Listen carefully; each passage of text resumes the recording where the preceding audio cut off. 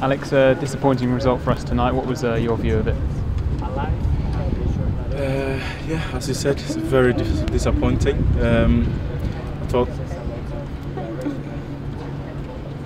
I think what, before before their first goal, I thought we were hanging in there, trying to come more and more into the game. We, we had the first chance of the game with Ben hitting outside of the post, and we, we yeah we're trying to come into the game, but with the setback we had, it's, it's always difficult to to pick yourself up. I thought we we we did that, but when you have two now coming before break, it's, it's obviously very difficult to to come back against a team like this. But uh, I think I think we tried coming out second half. Uh, we were positive, but then again chasing a, a, a goal, and then we let him again three one another goal, and that that obviously kills kills the whole thing for us. But um, it is quite disappointing because our intention coming here was uh, we wanted to work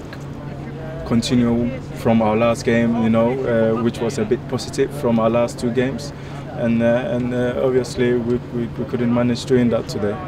Is it a case of trying to make more chances, like you referred to the one from Ben Godfrey, it was sort of a, a half chance from distance and almost ended in, in the back of the net?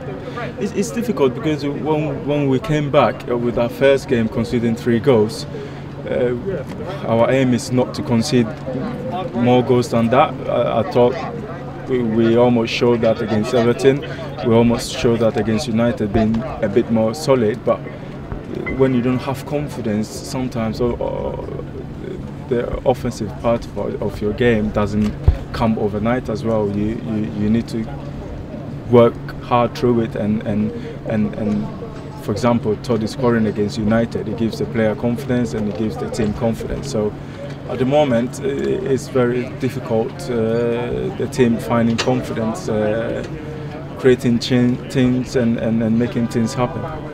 I'm sure you're happy to play anywhere for the team. You slotted in at centre back. It's, it's, it's, look, it's been a, it's been a difficult season. We, we've had we've had one or two centre halves that's been fit the whole season, and to play Premier League and having two centre halves that are fit, that that's not that's not a pillar to start from. You you, you need you need to have all your centre halves uh, available, and uh, I, I have to step in sometimes.